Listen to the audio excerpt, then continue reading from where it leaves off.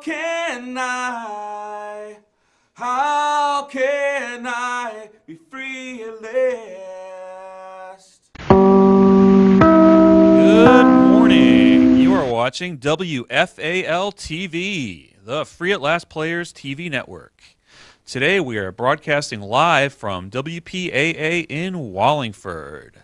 As usual, our broadcast features all manner of perspectives on mental illness, some comedic, some dramatic, and some controversial, which is done to provoke discussion and not to offend. I was 11 years old when I experienced my first bout of depression, leading to my first thoughts of suicide.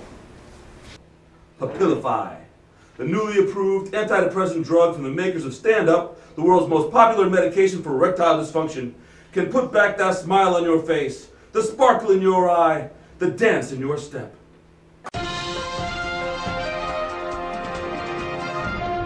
Evening. I'm Kip Kipringer. And I'm Lonnie Lowenstein. And this is the Nutty News, the only newscast that is specifically tailored to the interests of the mentally ill.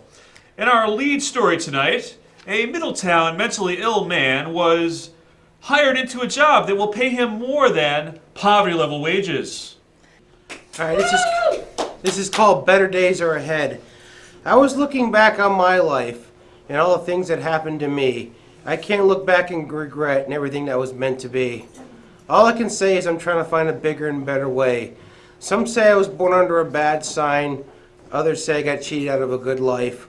Well, through all my trauma and fear that I faced, yeah, it cut like a knife. However, now I'm older and wiser and trying to make amends with my past. I'm enjoying good and fun times that will last. Better days are ahead, I have to remind myself so well. To have that peace of mind and good feelings to dwell. I work hard to gain a sense of balance and pride, and I know that time is always on my side. Oh, Mommy, but there is something I wanted to tell you about Will. Dun dun dun! Ay, Dios mío! He is a regular guy that happens to have a um, mental disability, and I love him. Ay, Dios mío!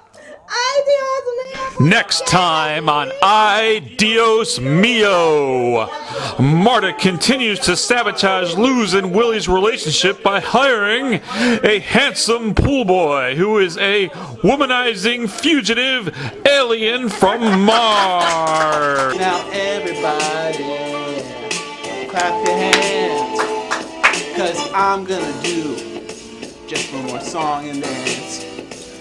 Where does the healing come? The true recovery.